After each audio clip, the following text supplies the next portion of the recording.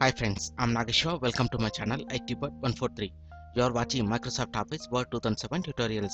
In this tutorial, I will show you how to save a document created in Word 2007. Suppose we are working on a document and if we wish to continue this after some time, for that no need to work again from starting. Instead of that, we can save our work at any time and continue from there when we want. Here I have prepared a document with some data. We can save our document in many ways. Click the floppy icon on quick access toolbar which is the save icon. If you don't find this option, click the link showing in this video's description how to enable or disable options on quick access toolbar. Then it will open save as window. Defaultly it will save in documents folder. Enter a name and choose a file type and after that click on save. We can also use Ctrl S shortcut key from our keyboard to save our document. Alternatively, come to Office button, click on Save option. Again, it will open Save as window. Select a location. I'm selecting desktop. Enter your file name. And if you want, you can select Save as type. After that, click on Save. Now, in the middle, it is showing the file name along with the application name.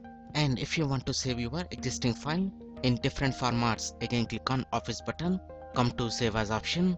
Here we will get different choices to save our file word document word template word 97 2003 document pdf or xps using add-in. And we can also save this in other formats. Come to save as type. Here i'm selecting pdf i want to save this on desktop. Click on save. Again come to office button. Save as type. Click on other formats. Now this time I want to save this as web page. Click on save. Now come to the desktop. Here we got the PDF file and also web page. Whenever we click on save, defaultly it will save as Word document with .docx extension. If you want to modify the default save format, come to Office button, click on Word options. In this please select save under save documents we can set the default format for file save. And also we can set default file location by clicking on browse select a location i'm selecting desktop click on ok. And after modifying all the options click on ok. Like this we can save our document created in microsoft office word 2007 i hope you like this video. If you like this video please click on like button and please share this video with your friends.